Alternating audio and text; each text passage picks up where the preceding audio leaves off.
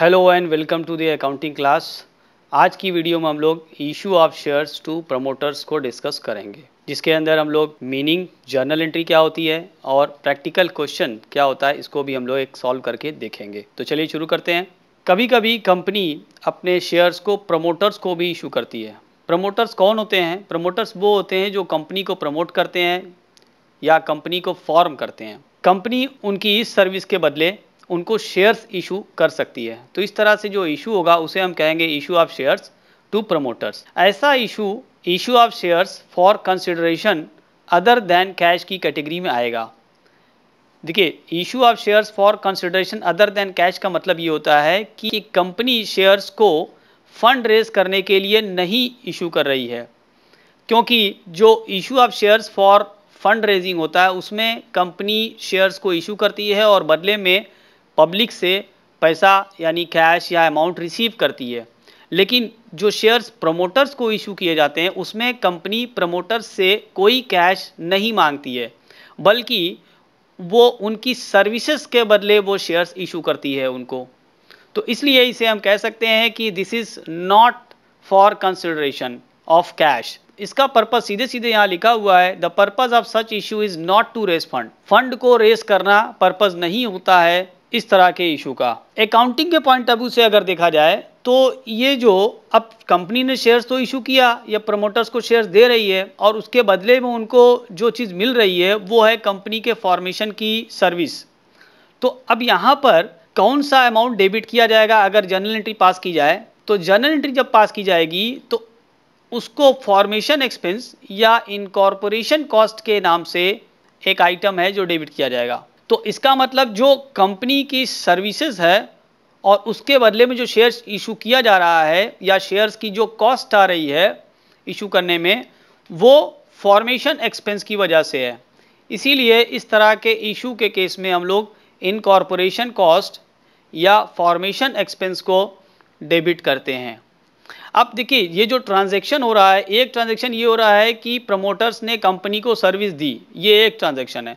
उसके बाद कंपनी ने उनकी सर्विस के बदले उनको शेयर्स इशू किए। ये दूसरा ट्रांजैक्शन है।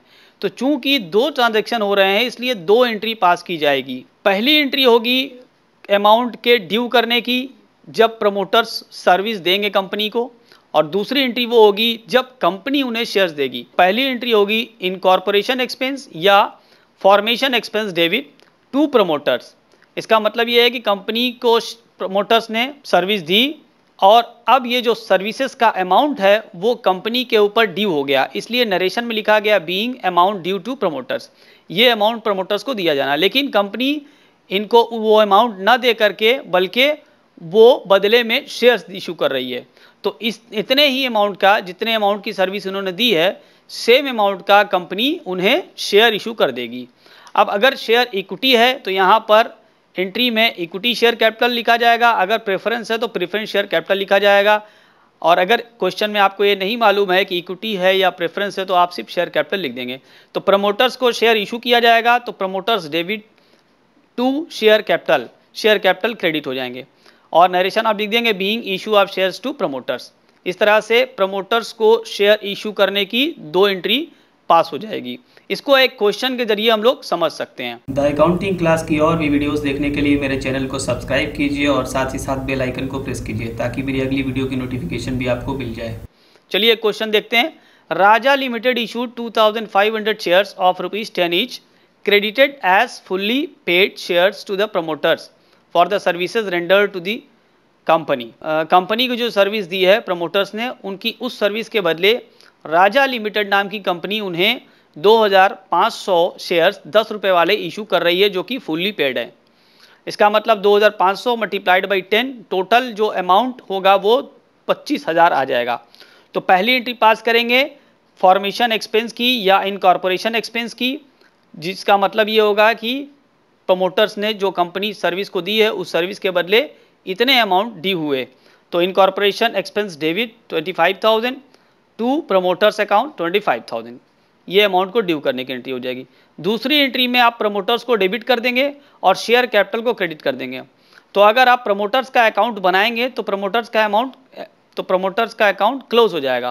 क्योंकि प्रमोटर्स को आप एक जगह पर क्रेडिट कर रहे हैं पहली एंट्री में सेम अमाउंट से, और दूसरी जगह प्रमोटर्स को आप डेबिट कर रहे हैं सेम अमाउंट से। तो इस अमाउंट का बैलेंस बराबर आ जाएगा, यानी वो अकाउंट क्लोज हो जाएगा।